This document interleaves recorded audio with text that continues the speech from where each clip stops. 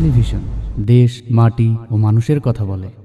আপনারা দেখছেন সান টেলিভিশন। সুধী দর্শক মণ্ডলী, সান টেলিভিশনের বিকালের খবরে আপনাকে স্বাগতম। সাথে আছি আমি জুবাইর খান।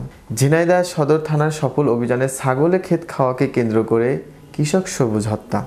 ঝিনাইদহ সদর থানায় সফল অভিযানে অবশেষে কৃষক সবুজ হত্যা মামলার দুই আসামি গ্রেপ্তার করেছে পুলিশ। সোমবার সকালে চুয়াডাঙ্গা দামনহুদা উপজেলার গোপালগঞ্জ গ্রাম থেকে তাদের গ্রেপ্তার করা হয়। পুলিশ জানায়, মোবাইল ট্র্যাকিং ও সবুজ হত্যা মামলার দুই আসামি অবস্থান শনাক্ত করে।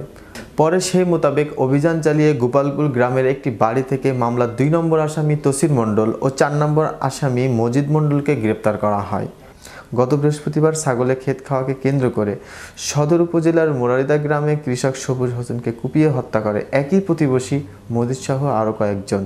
এই ঘটনায় পরের দিন নিহতদের নিহতদের পিতা আবার এখান থেকে। এই ঘটনায় পরের দিন নিহতের পিতা ফজলুর রহমান বাদী হয়ে ঝিনেদা সদর থানায় সাতজন আসামি করে একটি হত্যা মামলা দায়ের করে। ঝিনেদা থেকে জাহিদুর রহমান তারেকের তথ্য চিত্রে সান টেলিভিশন নিউজ ডেস্ক।